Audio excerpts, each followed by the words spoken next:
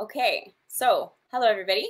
Um, sorry for the a little bit of a wait. I was having some technical difficulties, um, but I'm so happy to um, be here today talking with Ryan Meili. Um, I've known Ryan for quite a while. He was a doctor in our community for many, many years. Um, and yeah, now I see him kicking around Saskatoon. So um, I'm excited for the chat today. So I'll let Ryan introduce himself a little bit. All right. Well, thanks, Jordan. Yeah, it's uh, really cool to get a chance to chat with you. I remember you from from Isle Cross, uh, and when you used to help out our, our Making the Link students, the medical students that would go spend the summer there, and, and you were always a, a pretty great, uh, pretty great contact to get people to know the know the community, understand what was really going on, and uh, yeah. So thanks for taking a bit of time to interview my, me. I'm Ryan. I am a family doc and also leader of the NDP uh, here in Saskatchewan and the MLA for Saskatoon Meewasin. And that's where I'm talking to you from today. I'm at my MLA office uh, on 3rd Avenue here in Saskatoon. Cool. Okay, so there's a few different directions I want to go with this. Um, there are some pretty controversial topics going on, um, happening kind of as we speak. Um, and I guess um, without getting too like political to any which way, um, I would be really interested in your medical mind in all of mm-hmm. this, um, but also keeping in mind that you know um, from your level of leadership, um, what direction you'd like to see things going, and I guess just a, a general opinion on, on some of these things. So um, where I'd like to start is um, maybe on the topic of energy, if that's cool, um, which I think is really cool. but I'm, I'm currently working with a group from across Canada, um, and we're called Seven Gen. So we're, we're hmm. hosting a, a national Indigenous Youth Summit that'll be happening in Saskatoon. Hopefully, we'll see how things go. We're trying to make it happen but COVID has a mind of its own. So, um, but potentially in March, we'll see. Cool. Um, and that'll bring 200 youth from across Canada um, to talk about energy and the role of Indigenous youth in that area. So, um, my question to you is what do you think, like, in terms of where we're at in a national landscape, in terms of energy? Um, what are some things that we could be doing a little bit better provincially? Like there's there's a ton going on in BC for hydro and a lot of solar projects you see. Um, you know, in, in Quebec they have ton of a ton of wind, things like that. Um, and then all of the different little programs that support um, clean energy. So what are your, your thoughts on where we're at? Um, my mind goes to uh, to your neck of the woods, to Green Lake where they put up a solar project that was uh, powering the local town hall. And that's the kind of thing that should be happening all over Saskatchewan. We have the best environment in the country for the production of energy from solar power. We have great opportunities in wind. There's some really exciting new technologies in geothermal, uh, and just so much we could be doing. And yet we're in last place. Uh, when it comes to the move to renewable energy, uh, under the Sask Party, we just haven't gone anywhere. In fact, they canceled the net metering program uh, just a few months ago that made it possible for people to afford uh, that move to solar energy in their own homes and, and businesses, etc. I'd like to see us go the other way, and I love the idea of involving more Indigenous communities. We've seen leadership like Green Lake and Métis community or, or Cowessess First Nation that's doing some really cool work with solar and wind and energy storage. There's so many opportunities in Saskatchewan one of the things that we've talked about as New Democrats is often when people say, "Oh, I'd love to put up uh, solar panels. I'd love to uh, redo my house so I'm using less energy, or maybe be part of a wind co-op, or some other way of lowering my bills and being part of the move to green energy." But who's got 20, 25 grand to get in there? Even though you might save that over the next few years, that barrier to entry is just too much. So what we'd like to do, people are already paying those power bills, paying those uh, those natural gas bills. let's, instead of saying, if you build this yourself, you'll save it over time, we come in with our crown corporations and say, we'll lend you the money to do it now. We'll lend you the money to do it now, and you just keep paying the bills you're already paying. No more money for you. And then once it's paid off, those bills are down to next to nothing. You've made that transition to green energy, and in the process, we put thousands of people to work in every corner of the province. You know, it's not one giant plant in one town, it's every town and every community having loads of jobs. So and when we talk about opportunities for employment for young people, uh, to not have to leave uh, their home community, but to actually be able to see things they can do right there. I think we'll see all kinds of small businesses pop up around this as people develop their own models, try different technology.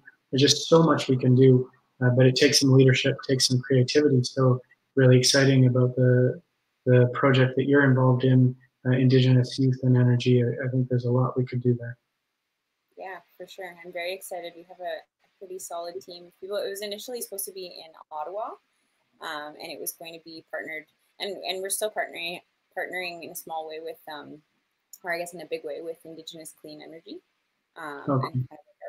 our, our our main um, host company, I guess, uh, organization is Student Energy, and they're a national or an international organization. So, um, yeah, there's some really, really incredible technologies. And I think um, one of the things, another thing I'm also working on in Île-à-la-Crosse is um, we're looking to introduce an energy efficiency project. So it's it goes with the, the whole slogan of um, a kilowatt saved is cheaper than a kilowatt produced, hmm. right? So that new infrastructure just costs so much money, um, and it, it is a, a part of the process, right? But I think the, the the main part that people often forget is that energy education and preparing mm-hmm. people. Like, I remember, and I don't know if people remember this, like comment, but do you remember the Much Music campaign that was like flick off? And it looks when you spell it out it looks a little a little harsh but you remember it right? Like little campaigns like that to keep people like in line turn off your darn lights kind of thing you know? Yeah. And you know those individual changes are, are good things to encourage um, but really we need to make sure at a, at a provincial level national level we're making that easier for people to do. You're absolutely right. The kilowatt of energy you don't use is the cheapest one and the the least impactful one.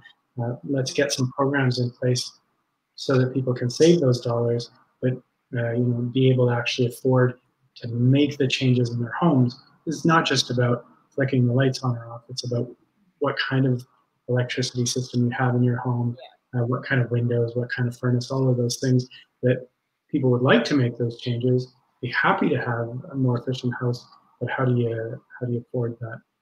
The Renew Saskatchewan allows people to get in the door. Yeah, I think um, yeah, that's that's one thing that that I've come to find is you know utilities hold a lot of power and like no pun intended, but um, they literally get to determine whether or not you get to be involved in the energy game, right? So um, I guess that's that's a way to kind of get around it in a, in a sense, but um, yeah, it would be so cool to see some some major renewable projects going on. That'd be really neat. Um, so just to completely shift gears, I want to talk about Indigenous youth. Um, there's a lot going on right now in our province, in our country, around the world, like um, the Black Lives Matter movement, um, Indigenous Lives Matter. All of these things have kind of been ongoing for a while. Um, one thing that I find that isn't talked about not nearly enough um, that will really, I think, shape the future of our province, especially considering we have like one of the highest uh, percentages of Indigenous people and young people at that in Canada. Um, but the youth incarceration rates, Indigenous youth incarceration rates. So, um, for people that don't know this, for for girls, Indigenous girls make up ninety eight percent of incarcerated youth. Only 2% are non-indigenous that make up our prison systems for, for young people. Um, and for boys, it's, it's, I think it's 92 or 94%. Um, so what are your thoughts on that and what are some strategies that, that you kind of uh, look at to, to make change in, in that area? I mean, the, the first thought is how completely unfair that is and unjust that we would have a situation where one group is so overrepresented in our correction system. You talk about youth corrections, it's absolutely right, above 90% uh, on in both uh, young women and young men. Then you get into adult corrections, we're up in the 80% range, uh, still First Nations and Métis in adult corrections. Also a little earlier than that, it's not corrections, but it's, uh, it's another system where people are separated from their families, and that's foster care. Of the 5,000 plus kids in care, 80% are Indigenous. Uh, and so we've got this whole system where uh, we are failing kids, we're failing young people, we're failing young adults, and it's resulting in them getting into situations where their lives are even harder. You know, they're getting even further behind. We need to spend a lot more time on those kids first, make sure we're investing in in young people, investing in their opportunities, and helping prevent crime. And when people get involved, using that not as a way to say, okay, now you're a bad person, you're stuck in, in juvenile, you're stuck in prison, but oh, your life is clearly not going the way it should. Something's broken. Let's step up and support you to get better. Um, one of the people I, I, really respect in the city works with STR8 UP talks about people in gangs and, and viewing it as people aren't bad, they're sick. They're often dealing with mental health and, and childhood trauma, they're dealing with addictions. Uh, punishment isn't the isn't the point. It's how do we actually work with people to rehabil- rehabilitate them. We are seeing a big investment from the government, 120 million bucks for a new remand center, which is basically just to put more people away in a time during their incarceration where they don't even get any programs or, or counseling or help to get better. That's the wrong place to invest. We should be investing upstream, helping people uh, be in a much better better circumstances. And and I think about the larger picture of the, the big gaps that exist between Indigenous people when it comes to employment, to justice, of course, to health outcomes, and to education. And we really need a provincial government. And instead of being a barrier, that points and says, "Oh, it's up to the it's up to the individual reserve or, or First Nations or Métis community, or it's up to the federal government. We're, we're not going to do anything." We need a provincial government that's going to lead, that's going to actually be a facilitator to make sure we're doing the right things to help reduce those gaps. Mm-hmm. Um, so the theme, and like this is unrelated but related. Um, the theme of our energy summit this year is uh, the value of kinship, and that's what that makes me think of is like we've lost this idea that our communities are all akin, right? Like that we are all related. That you know doesn't matter what socioeconomic status we have or what color we are. Like we're a part of this greater community, and you know the it's like the like my volleyball coach used to say you know like you're if one team member is down like it brings down the rest of the team and you need to help lift that person up for a stronger team and, and like that goes with with businesses individuals um you know all the systems that are in place in society and and I don't I don't know. It's just weird that we don't work in that that same way anymore. You know, like and, and the point is, yeah, if people think, oh, that's somebody else, I'm not part of that group, they're struggling, but that's not me, uh, that's misunderstanding the fact that when one section of our province is struggling, that hurts everyone. Uh, it hurts everyone on an economic basis. You know, we know our province loses $4 billion a year to uh, poverty, uh, that the economy is $4 billion poorer because of the added costs associated with poverty we know that you know if some people are struggling and that leads them to crime, it means others are less safe. Uh, if some people are struggling and that leads them to be ill, that means when you need to go to the emergency room or the hospital, well, maybe those services aren't as available. We need to recognize that anybody doing badly in the province uh, drags us all down. And uh, your volleyball coach uh, said it exactly right. Yeah. Um, the next point, you might have to remind me. Um, well, you wanted to talk a little bit about suicide, and uh, I, I was glad okay. you wanted to oh raise that. I'm so sorry. I can't okay. even. I'm sorry to the people that are listening to my brain fart there. Um, yeah, exactly that, right? Like, um, it's it's pretty crazy how the cards that young people, young indigenous people are dealt pretty well before they're even born. You know, like just the stats on on suicide, the stats on youth incarceration, um, mental health issues, all of these things. Um, you know, like it's almost like we're born to just be sick, you know, because our our communities are not helping us do better. You know, our communities are not changing. I don't know. Um, but yeah, I wanted to chat a little bit about um, suicide and um, particularly what's going on right now in Regina.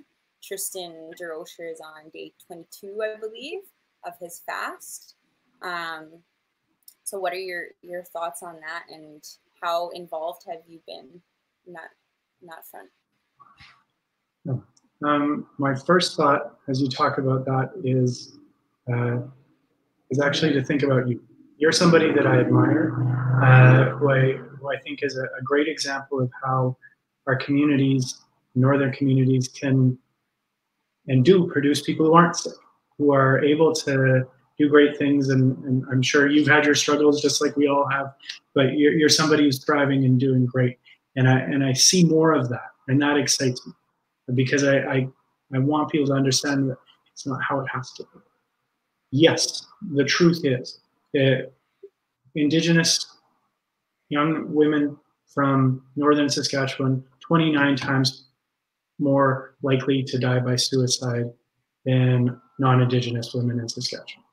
Uh, boys and, and young men, it's six times, which is still a huge difference. 10 to 49, the, the, that age group in northern Saskatchewan suicide is the leading cause of death. So clearly, we have a big problem in Saskatchewan. We're leading the country in suicides per capita, and so much more needs to be done. Uh, I had a chance to walk with Tristen in Prince Albert, in, in Saskatoon, and in Regina, and to visit him a, a few times at the legislature. I think that's uh, him and, and all the group around him, uh, the Walking with Our Angels, has have done an incredible job of elevating attention to this. Uh, and that came out of a work done by Doyle Vermette, who's the MLA from Cumberland, from the La who put forth a bill for a suicide prevention strategy. And the 44 members, all the members who voted from the Sask Party, voted it down, sending a terrible message to all those families that are grieving, all those young people that are wondering if their lives are worth living. That sent the exact wrong message. And, and what I love about what Tristen's doing what we're trying to do is it sends the opposite message that this is worth huge efforts and huge sacrifices to fix. It is important enough to do something. Uh, what do we do? You know, I think we do need a strategy, and we need to work with the communities themselves, and you know, highlight the people who are uh, talk with the people that are struggling, but also highlight the people who are doing really well, and find out what made the difference for them. Uh, and some of the things that would go into a strategy like that are some of what we were talking about before, how we prevent crime, how we prevent hopelessness is also how we prevent suicide and depression. They come from the same trauma, the same uh, lack of opportunity. So those upstream factors. We also need to make sure there's primary care available so that when people need help, when they need counseling, it's available and affordable. So we don't say, sure, you can have counseling, but it's a hundred bucks an hour. No, we say, you need help. We've got this help ready for you and right away. Because right now, so often when somebody wants to get off drugs or, or see a counselor, we have to tell them you're waiting three, six months longer. And then the last thing that I'll, I'll mention is the need for independent, um, dedicated mental health emergency rooms, especially in our major centers, PA, uh, Saskatoon, Regina, Jaw, etc. Uh, so that when you are in that moment of a crisis, you don't go in there lined up with the heart attacks and the broken legs and getting seen last uh, by people who are, are distracted by those physical ailments, you get to see people who have that right training and we're there to see you because that's what they're there for. Uh, these are some of the things that I think we could we could do. It's obviously going to require working with communities to come up with the best plan together. First step is admitting it's a big problem and, and committing to doing more. So, just from a medical perspective, how does um, like when do elders and like community people get involved in terms of um, like intervention? Yeah, uh, I uh, was thinking about some some of the the stories that we hear about interactions between police and people in the community that don't go that well.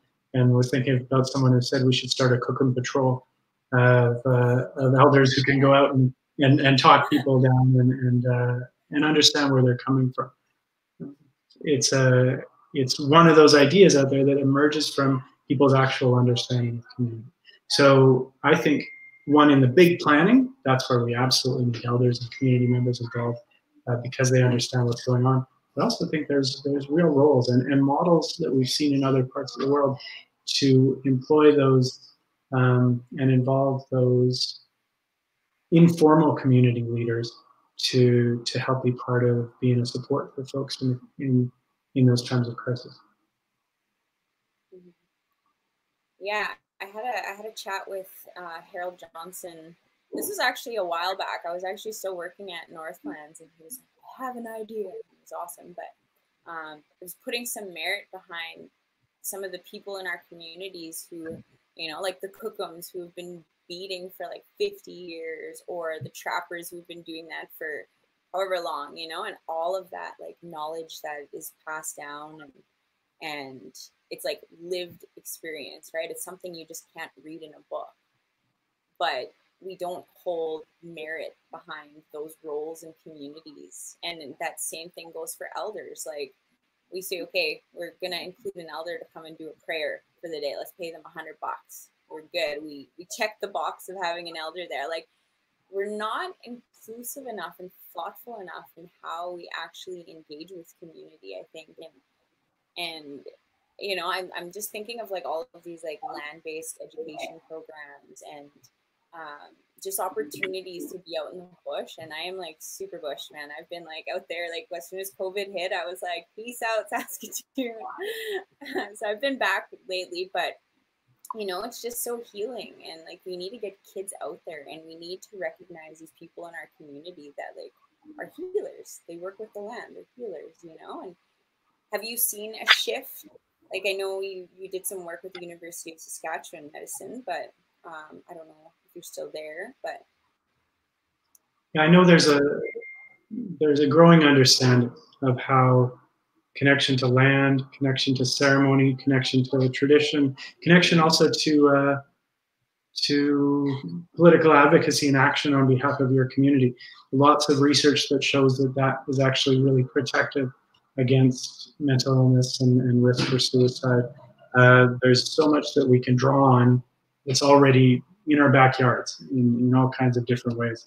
And, uh, and I think it's a, a, really important part of the discussion. How do we use, uh, use what has been really has evolved over centuries as ways of keeping us healthy and whole uh, in this new world where we're all on our phones and, and on screens and uh, and traveling around. How do you how do you bridge that gap between the elders and the youth? Um, I remember somebody joking up in one of the communities that wanted to start a youth center and an elders center in the same room, and then just uh, have those people hang out, and, and then you wouldn't need any any more interventions because you'd have the young people and the elders listening and learning from. exactly. yeah. thanks, thanks, Jordan, for uh, for reaching out to to have the conversation. Um, yeah, you bet. It's been a long time coming, so I'm glad we finally made it happen.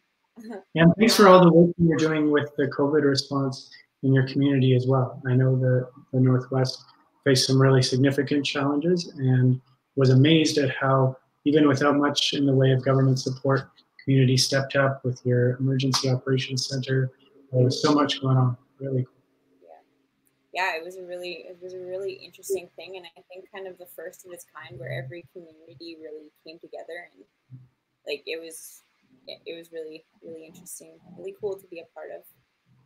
But yeah, I was glad to see we finally got some support for that. so that was good. Um, but yes, I won't take up too much more of your time. So thank you. Um, I hope that gave people a lot to, to think about, a lot to absorb. And um, if you do have questions, you can post them up in the in the comment section here. And Ryan is my friend on Facebook, so I'll be hoping him to answer those questions. Tell me. But, um, okay, yeah, thanks. Have a good weekend, Ryan, and thank you. Thanks. You too. See you soon. Thanks, Tess.